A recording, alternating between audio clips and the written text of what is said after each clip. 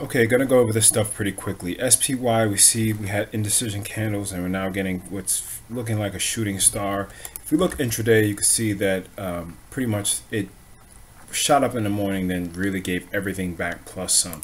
Uh, you'll see that on the daily. Uh, on the weekly, it still just looks like it might, you know, still a bullish uh, trend.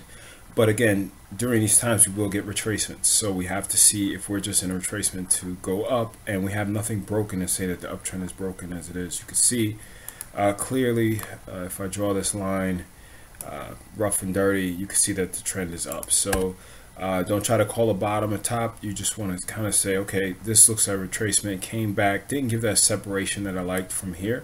So you saw how it popped up, retraced back to this level, popped back, but didn't get to where it came back and tested this level. It got barely above it and uh, is heading back down. So momentum is showing that's a little bit weakness as well.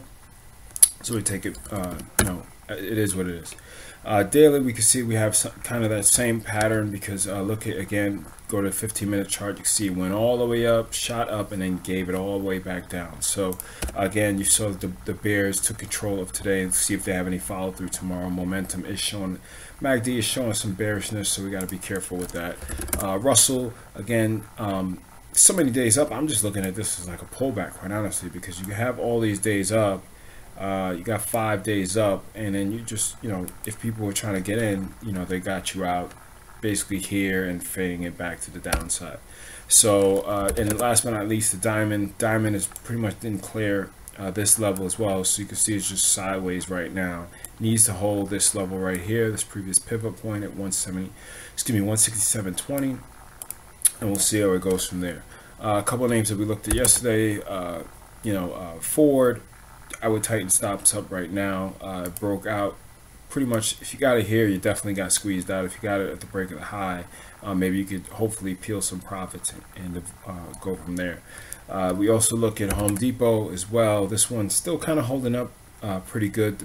Uh, looking at the price action, Johnson Johnson. Johnson Johnson just looks like a clean pullback right now.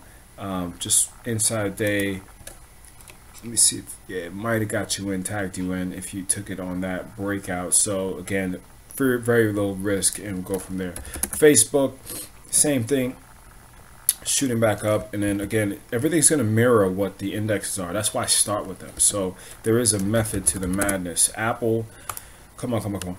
Apple's continuing to go down. Uh, we can see that it definitely had that weakness, but again, the trend uh, on the daily wasn't saying that saying much. If you kind of even break it down to like a, an hourly, you can see that the trend was pretty much sideways for this entire time, and now it tested these lows and rolled back down. So uh, this is not an environment to get, you know, to say, okay, I'm going to buy the dip per se. Just we kind of want to see where it goes from there.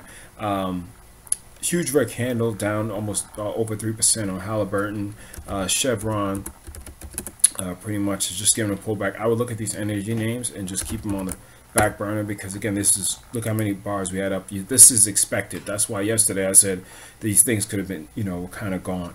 Uh, let's look at the banking sector. Banking sector is kind of uh, rolling but again this still looks good to me. I just want to see if it follows through the downside but uh, if it breaks above these highs i think you could get some upward movement uh, Bank of America just looks looks sideways. Pretty much, if you took this engulfing pattern, you're probably going to get stopped or roll your stop up a little bit to reduce that risk. Uh, Wells Fargo, um, Wells Fargo is a buy down here or here for me. So again, I would be peeling profits, and again, the breakout guys are getting a little bit squeezed as well. Uh, Prudential, pretty much getting back to these highs and curving back over. Let's look at Priceline. We haven't looked at that in a while. Kind of not really saying nothing, but you can see that the trend is down. It got had this pop up, and now it's just creeping down uh, and not really doing much, holding that 50 day. So uh, who else we look at? Uh, let's look at Tesla. See how that did. Um, again, it probably yeah. Uh, this is the action and pretty much mirrored the action, gapped up and then faded the entire day. Let's look at Solar City, another Elon Musk product. Um, pretty much doing the same thing. But again, this is not where I would be looking to get long this stuff.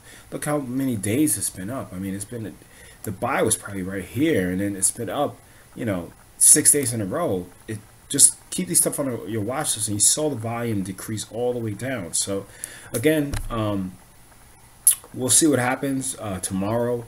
Uh, but get, again, I want to make sure that you're looking at the bigger picture and SPY uh, is being given a good uh, run up. But again, this just could be a retracement. I don't know how ugly it is until we see what we're going to trade the right side of the chart. So uh, take care.